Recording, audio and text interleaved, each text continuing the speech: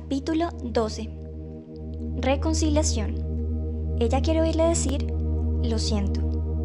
Cuando hice mi carrera de posgrado, me inscribí en una clase que incluía mucho debate sobre marcos conceptuales para ciertas ideas. Solo habíamos dos o tres hombres en la clase, el resto eran mujeres, y todas ellas feministas. Un día, la palabra conectividad surgió para ser discutida. Observé que a las mujeres liberalmente se les iluminó la cara y una ola de energía recorrió el salón de clases. Dirigí una pregunta a las damas. ¿Qué significa conectividad para ustedes? Hicieron una pausa, discutieron entre ellas en voz baja y después dijeron cosas como, mm, bueno, es conectarse, ser uno, ser como almas gemelas. Para comenzar estaba bien, pero yo quería saber más. ¿Podrían darme una definición de trabajo de esto? Después de todo, todos estamos trabajando en postgrados aquí. Necesitamos poder discutir y definir esto en términos específicos. Ninguna de las mujeres pudo hacerlo. Reconocieron, no podemos, sencillamente sabemos cuándo está presente y cuándo no. Entiendo, dije. Por supuesto, no entendía, pero teníamos que pasar al siguiente concepto. Nunca olvidé ese debate y continué trabajando para definir conectividad, al mismo tiempo que entraba al pastorado y especialmente cuando empecé a aconsejar a matrimonios. Con el tiempo, llegué a comprender mucho mejor del concepto de conectividad al crear el acrónimo pareja. Como ya hemos visto en estos capítulos, la conectividad tiene muchas facetas. Ya hemos visto proximidad, franqueza y comprensión. Obviamente, todas tienen que ver con el grado de conexión que siente la esposa con su marido. Hay un cuarto aspecto de la conectividad que necesitamos examinar detenidamente. La reconciliación. En cierto modo, podría ser el más importante.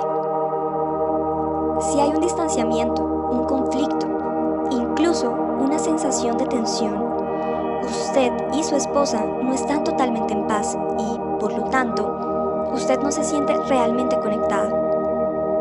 Sin paz en su relación, ella no se siente cerca, no siente que usted sea abierto y ciertamente piensa que usted no entiende. Todo esto se origina en la tensión o, el distanciamiento que se ha producido entre ustedes. Junto con la investigación que los académicos realizaron sobre la conectividad, yo también estudié las escrituras y me encontré con una paradoja. Descubrí que Dios quiso que existiera algo de conflicto en un matrimonio. Ver 1 Corintios capítulo 7 versículo 3 al 4. También las investigaciones seculares mostraban que los mejores matrimonios los tienen, es casi como si necesitáramos cierto grado de conflicto para mantener la pasión. La secuencia parece ser que la pareja experimenta un malentendido, tiene una discusión sin importancia, un choque de alguna clase. Pero a medida que tratan de buscar una solución para salir del conflicto, profundizan la mutua comprensión y se valoran y aprecian el uno al otro mucho más a través del proceso de reconciliación que sigue el conflicto. Obviamente, cuando saltan las chispas y una pareja tiene un conflicto, serio o sin importancia, hay riesgo. Y pueden suceder dos cosas. Las chispas pueden causar un fuego controlable que caliente el hogar y hacer que las cosas sean más cálidas y cómodas.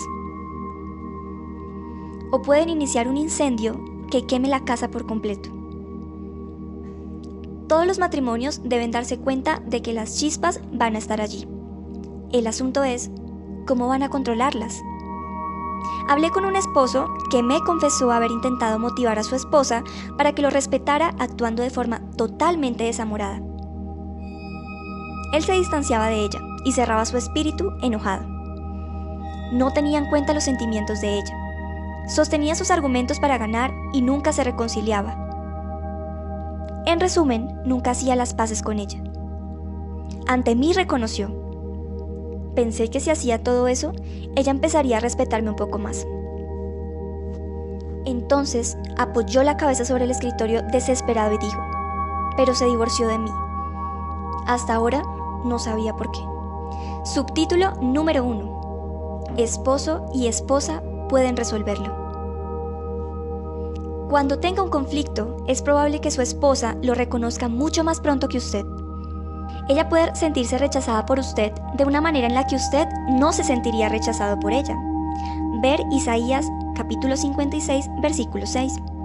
En consecuencia, ella quiere resolver las cosas entre ustedes y se le acercará para lograrlo. Cuando se pongan cabeza con cabeza para resolver el problema, llegarán a estar corazón a corazón. Esto es muy precioso para ella.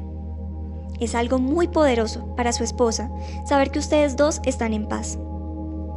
No se niegue a hacer las paces huyendo del conflicto con su cónyuge. Esta no es una señal de que usted tiene un mal matrimonio. De hecho, la Biblia dice que los que se casan tendrán aflicción. Primera de Corintios capítulo 7 versículo 28. ¿Qué clase de aflicción tenía en mente Pablo? En los comienzos del capítulo, establece un excelente principio para tratar el conflicto en el matrimonio. El marido cumpla con la mujer el deber conyugal y asimismo la mujer con el marido. La mujer no tiene potestad sobre su propio cuerpo, sino el marido. Ni tampoco tiene el marido potestad sobre su propio cuerpo, sino la mujer. Primera de Corintios capítulo 7, versículo 3 al 4. En este pasaje, Pablo aconseja los matrimonios de la iglesia de Corintio. En el primer siglo era común en ciertos creyentes la idea de que un buen cristiano se abstendría por completo del sexo. Y al parecer eso estaba sucediendo en Corinto. Para corregir este error, Pablo alienta las relaciones sexuales entre esposo y esposa, porque esta es la forma de no caer en tentación o en inmoralidad fuera del matrimonio. Parece un poco extraño, sin embargo, cuando Pablo dice que la esposa no tiene autoridad sobre su cuerpo, y su esposo sí, y que el esposo no tiene autoridad sobre su cuerpo, pero su esposa sí la tiene, ¿qué quiere decir Pablo? Creo que está estableciendo uno de los mayores principios del Nuevo Testamento. Puesto que ustedes tienen necesidades equivalentes pero distintas, experimentarán conflictos, pero pueden solucionar esto como pareja. El esposo no debería actuar en forma independiente de su esposa y la esposa no debería actuar en forma independiente de su esposo. Esposo y esposa deberían y pueden actuar juntos. Es como si Dios hubiera dicho, voy a permitir que exista tensión en su matrimonio. Mi propósito es que la resuelvan, porque en la medida en que lo hagan, su relación se profundizará un poco y después otro poco más y continuarán avanzando por la vida solucionando sus conflictos. De aquí para allá, de aquí para allá. Subtítulo número 2. Mi esposa siempre se pone histórica. Cuando hablé con un hombre acerca de su matrimonio, me dijo que cada vez que él y su esposa tenían una pelea, ella se ponía histórica. Para asegurarme de que le había entendido, le pregunté si en realidad no quería decir histérica. Me dijo, no, histórica. Empieza a sacar a relucir todas las cosas del pasado. Muchas esposas se especializan en ponerse históricas. Es por eso que no le hace muy bien a un marido terminar un conflicto diciendo, solo olvidémoslo. Esa no es la forma en que ella piensa y no se le olvidará. Quizás deje el asunto por el momento, pero a la larga comenzará a practicar historia con su esposo otra vez. Casi todos los maridos con los que he hablado comparten historias como esta acerca de la capacidad al parecer ilimitada para recordar quién dijo qué, dónde ocurrió, quién llevaba puesto qué, etc. Su esposa está constituida para ponerse histórica, traer a colación cosas que usted ha olvidado totalmente, hacer un círculo completo y resolverlas. Ella las saca a relucir para despejar el ambiente y sentir amor en la relación. Y usted, el desventurado esposo que ha dejado perplejo ante su memoria aparentemente sobrehumana, llegará al punto en que tendrá que aceptar que esta es su personalidad integrada en acción y que ella no puede olvidarlo. Cuando se pone histórica, ella está tratando de reconciliarse con usted. Quiere que usted sea franco con ella, y está intentando fomentar la comprensión y la paz entre ustedes. Quiere estar segura de que no está enojado con ella para poder sentirse amada. No está intentando provocarlo, aunque así parezca, cuando pronuncia su diatriba histórica. A los esposos puede resultarles difícil creer esto. El hombre que me contó que su esposa a menudo se ponía histórica se mostró más que escéptico cuando traté de explicarle que ella solo estaba intentando aumentar los sentimientos de amor entre ellos. De ninguna manera, dijo perplejo. Pero es verdad porque esa es la forma en que funciona la mente de una mujer. Durante un conflicto, el enfoque de la mujer en cuanto a la forma de resolverlo es muy distinta de la del hombre. Como se discutió en el capítulo 4, dos mujeres que sean buenas amigas pueden tener un desacuerdo serio, pero más tarde, quizás al día siguiente o tal vez al cabo de media hora, lo resolverán al expresar cada una su posición. Ellas pondrán todo sobre la mesa y finalmente se pedirán perdón. El problema es que la esposa típica va a su casa e intenta usar este mismo método para resolver el conflicto con su marido. Pero no funciona. ¿Por qué? Porque el típico varón resuelve el conflicto sin mucho discutir, compartir sentimientos o disculpas. Algunos hombres quizás se pidan disculpas unos a otros, pero por regla general dan por supuesto que sencillamente lo olvidarán y lo hacen. Entonces, cuando la esposa se acerca a su esposo para intentar resolver un conflicto, compartiéndole sus sentimientos y haciendo un círculo completo para llegar a la resolución, él lo evita. A mitad de círculo el esposo dice, dejémoslo, olvidémoslo, ya pasó. Pero el problema con eso es que ella no le creerá. En su mente ella sabe que eso no pasó, sabe que volverá a mencionárselo porque aún sigue presente para ella está tan dominada por el impulso de amar que le resulta difícil creer que su esposo pueda procesarlo de manera diferente a como ella lo hace. Esto es lo que sucede cuando usted detiene una discusión diciendo, solo olvídalo. Es probable que su esposa piense que usted está secretamente enojado con ella y que en realidad el asunto no está resuelto. Sin resolución alguna, a ella le resultará muy difícil ser feliz. Esta carta capta la frustración que una esposa puede tener. Por dentro sigo muriendo, porque ignoro cómo dejar que el Señor restaure esta relación. En más de una ocasión, mi esposo me ha dicho que el amor que sentimos el uno por el otro es algo inusual.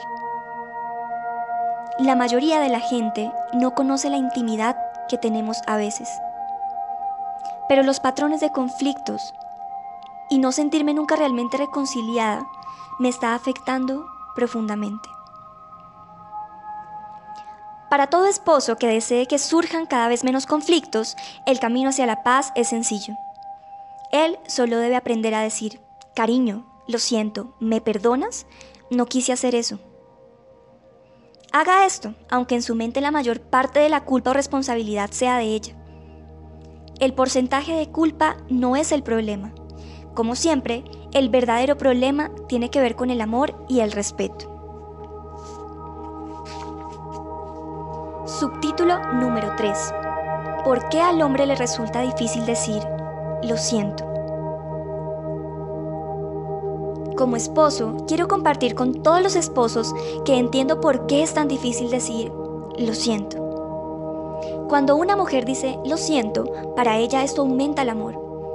Pero cuando un hombre dice lo siento, teme perder el respeto. Esto es especialmente cierto si dice lo siento por algo y después su esposa vuelve a mencionar el tema porque no está convencida de que él lo haya dicho en serio. Ella solamente piensa que el asunto no está resuelto y que debe ser discutido un poco más. Pero él cree que ella acaba de violar el código de honor de él. Resulta muy fácil, sin embargo, acusar al hombre de ser orgulloso. No estoy diciendo que no haya un elemento de orgullo implicado aquí, pero entremezclado con el orgullo masculino está un arraigado sentimiento de sentido de honor y de querer respeto. A todos los esposos quiero decirles que yo he estado ahí. He tenido que esforzarme y decir a Sara, lo siento, me equivoqué. Y cuando finalmente la convenzo de que lo digo en serio, esto sana su espíritu. Esas simples palabras le devuelven la paz. Una esposa puede estar extremadamente ofendida, pero si un esposo se disculpa humildemente por lo que hizo, ella se derrite. Creo que no hay muchos hombres que capten esto. Una esposa me escribió acerca de una pelea que tuvo con su marido a la tarde temprano. Era una tontería. De hecho, en un punto habían hablado de besarse y acabaron peleando. Ella se fue a la cama y él vino después. Me recosté allí por un rato y luego de repente dijo mirando la pared, Lo siento, y si quieres ese beso, puedes tenerlo. Y me enamoré de él nuevamente. No hace falta decir que ya no nos estábamos peleando. Como esposo, oiga el lenguaje de esta mujer. Me enamoré de él nuevamente. Una esposa tiene una amplia gama de emociones, altos y bajos. Usted puede energizarla para conducirla al punto culminante del espectro haciendo exactamente lo mismo que hizo este esposo. Subtítulo número 4. Un breve curso de reconciliación. ¿Aún no está seguro de cómo hacer las paces con su esposa? A continuación encontrará buenas técnicas y principios que guardan correlación con las escrituras. Primero tenga absoluta confianza en el poder de su conducta amorosa. Si parafraseáramos Proverbios 15.1, quedaría así. Una respuesta dulce y amorosa quita la ira, especialmente de su esposa. Cuando muestra una conducta amorosa durante un conflicto de cualquier clase, probablemente tocará la pared más profunda del corazón de ella. La actitud amorosa que usted le muestre produce algo dentro de su corazón como mujer. Dios la hizo de esta manera. Lo esencial es que ella le corresponda. Un esposo no puede superar a una esposa benevolente. Pero cuando usted cede, esté seguro de que lo dice en serio.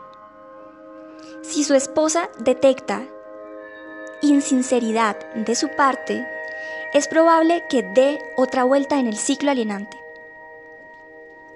De acuerdo, un esposo puede preguntar, ¿qué sucede si yo sigo amando y sigo dando y aún así no me siento respetado? ¿Qué debería hacer?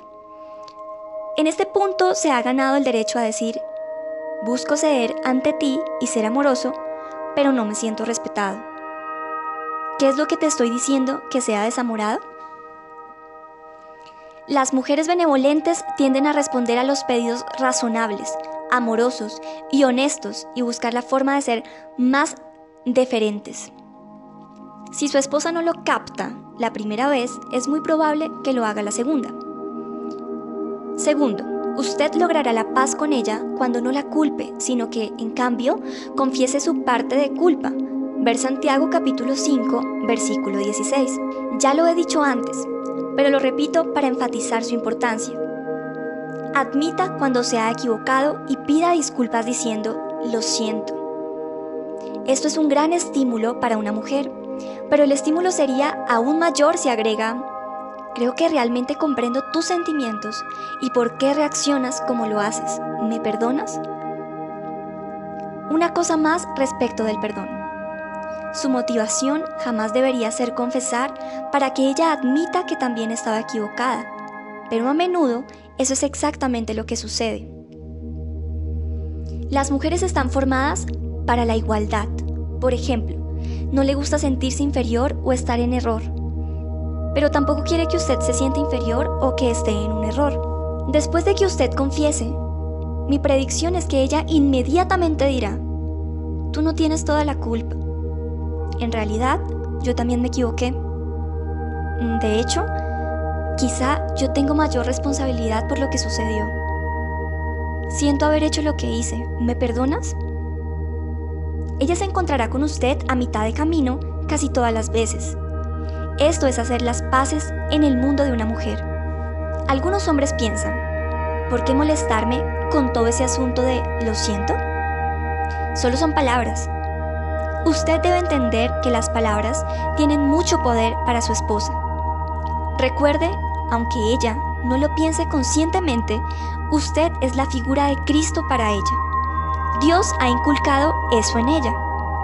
Si usted expresa sinceras palabras de disculpa, perdón y amor, ella confiará en esas palabras y, confiará en usted. Puede sanar todo el asunto y estarán unidos, en un sentido, como almas gemelas. No son llamas dos, sino una sola carne. Mateo capítulo 16, versículo 6. Ambos experimentarán la armonía y la conectividad que Dios planteó para el matrimonio. Hacer las paces puede ser difícil, pero siempre vale la pena. Resulta irónico que tantos hombres ejerciten los músculos en la sala de pesas, tratando lograr parecerse a Mister Universo. Porque piensan que las mujeres se excitan al ver un cuerpo musculoso de la misma forma en que los hombres se excitan cuando ven a una mujer en bikini. Pero las cosas no funcionan de esa manera. Lo que en realidad la excita es la personalidad. Por extraño que parezca, una de las cosas que realmente la estimula es que le digan con genuina humildad, lo siento, por favor perdóname. Esto toca su espíritu de tal manera que quizás quiera tomarlo de su mano y llevarlo al dormitorio ahora parece que vale bastante la pena cualquier posible pérdida del respeto. No estoy diciendo que dé resultado para todos los maridos, pero he sabido que a muchos les dio resultado. Después de una de las sesiones de nuestra conferencia sobre matrimonio, un hombre se me acercó y dijo, usted sabe, decir eso de lo siento realmente funciona. Esta semana he dicho lo siento 84 veces. Recapitulemos. Su esposa se sentirá en paz con usted cuando, primero, le permite desahogar sus frustraciones y su dolor sin que usted se enoje o se encierre en sí mismo. Segundo, usted admite que se ha equivocado y pide disculpas diciendo, lo siento, ¿me perdonas? Tercero, entiende su deseo natural de superar un conflicto, de llegar al acuerdo mutuo y de deferir y se encuentra con ella a mitad de camino. Cuarto, usted trata de mantener la relación al día, resuelve lo que había quedado pendiente y nunca dice, olvídalo. Quinto, le perdona cualquier error que ella confiese. Sexto, no alberga amargura y siempre le reafirma su amor. Séptimo, ora con ella después de un momento que le causó dolor. Le causó dolor. Le causó dolor.